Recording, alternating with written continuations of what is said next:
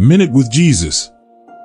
Zephaniah 3 verse 17 is a beautiful verse that speaks about God's love and care for his people. It says, The Lord your God is with you, the mighty warrior who saves. He will take great delight in you, in his love he will no longer rebuke you, but will rejoice over you with singing. This verse reminds us that God is always with us, and He is a powerful Savior who delights in us and loves us unconditionally. No matter what we may be going through, God is there to help us and lift us up. We can trust in His love and know that He is always watching over us. In applying this verse, we can find comfort and strength in knowing that God is on our side.